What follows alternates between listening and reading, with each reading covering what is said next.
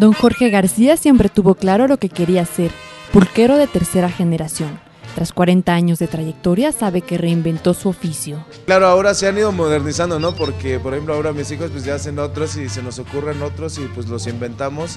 Y, yo me acuerdo que en ese tiempo, pues cuando yo estaba chavito, pues había eh, guayaba, eh, había jitomate, había avena, había piñón.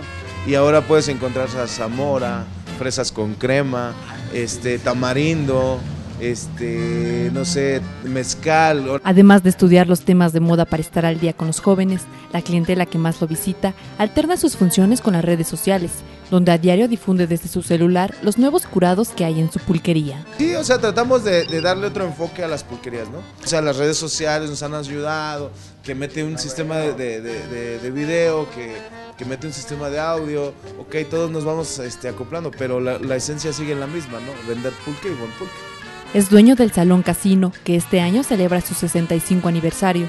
Hace dos décadas las puertas de vaivén de esta pulquería eran abiertas solo por señores, sobre todo de la tercera edad. Ahora son los jóvenes quienes las cruzan a diario en busca de diferentes sabores de curados. Yo estoy totalmente convencido y, ojalá eh, esto siga como va y, no por no, no, yo no quiero tomarlo tanto como por lo económico no que mucha gente piensa y dice bueno tú hablas por lo económico no yo lo hablo por el pulque y por las pulquerías porque son eh, yo a mí me tocó ver en, en colonias donde había 10 pulquerías por colonia y ahora ver que hay 70 pulquerías en todo el distrito y que el 30% de esas o 40% de esas pulquerías venden vino y cerveza, eh, sí es un poquito triste y dices, ojalá toda esta gente logre rescatar todas esas pulquerías. El Salón Casino ofrece ocho curados diferentes en fin de semana. Cada sábado y domingo prepara 160 litros de pulque. Entre semana hay cinco sabores distintos y 100 litros de pulque por día. La familia García lleva cuatro generaciones sirviendo pulques en este lugar. El pulque no lo tienes que aprender a tomar, el pulque lo tomas y ya. Dueños de pulquerías estiman que solo quedan 70 establecimientos de este tipo en la ciudad, sobre todo en las colonias aledañas al Zócalo Capitalino. Algunas son La Risa y Las Duelistas, en la colonia Centro.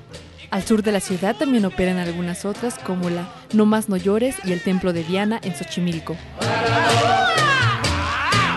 A mediados del siglo XX funcionaban cerca de 1.500 bares de pulque en las calles capitalinas. Esta bebida viscosa y blanca tiene cerca de 2.000 años de antigüedad. En tiempos aztecas era altamente valorada por los sacerdotes y guerreros. Un néctar que, de acuerdo con un viejo mito prehispánico, provenía de los 400 pechos de la diosa Maya Con imágenes de Antonio Guzmán e información de Víctor Adrián Espinosa, El Universal Televisión.